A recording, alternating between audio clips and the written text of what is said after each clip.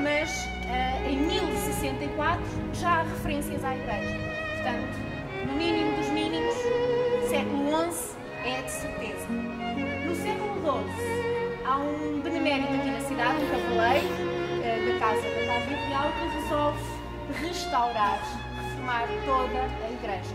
Chamava-se Estevão Martins e em 1189 dá exatamente o dinheiro para a reforma toda a igreja.